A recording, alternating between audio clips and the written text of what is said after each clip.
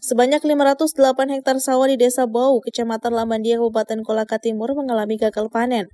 Hal itu terjadi sebagai dampak dari fenomena alam El Nino yang membuat musim kemarau lebih kering dan lebih panjang dari biasanya.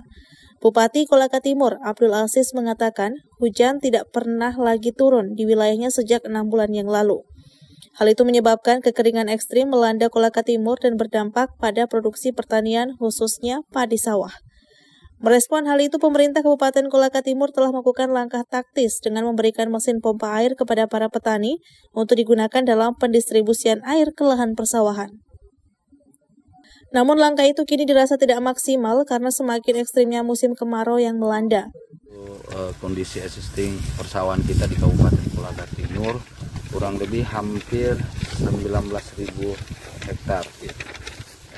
Dan sekarang ini untuk wilayah di di desa Bau hari ini kurang lebih 1100 lahan kita di sini. Yang terdampak El Nino itu kurang lebih hampir 500 508 hektar yang terdampak. Terus yang yang terpenting adalah bagaimana sekarang dari dinas terkait harus melakukan langkah-langkah mitigasi untuk menyiapkan eh, salah satunya adalah sumur bor Sementara Badan Penanggulangan Bencana Daerah Sultra turun langsung memverifikasi faktual kondisi lapangan di Desa Bau, Kecamatan Lamadia, Kabupaten Kolaka Timur.